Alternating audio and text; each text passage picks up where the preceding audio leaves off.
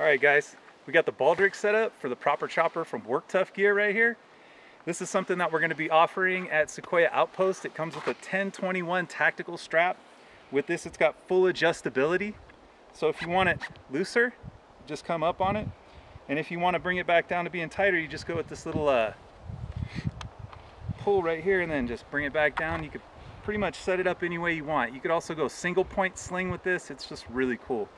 Uh, made in the USA, ten21 tactical sling, comes with our Baldric rig with the Work Tough Proper Chopper.